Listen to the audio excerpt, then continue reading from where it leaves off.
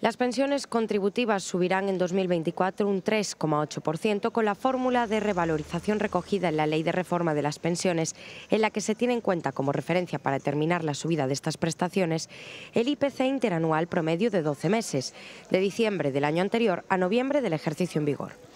Hoy se conocía que el IPC baja tres décimas en noviembre, situándose en el 3,2%, y la inflación subyacente se modera al 4,5%.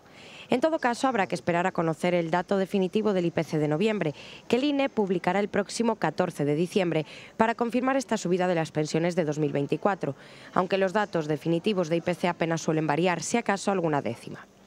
El IPC interanual de los 12 meses anteriores a diciembre marcará también la senda de otras medidas recogidas en la última reforma de las pensiones.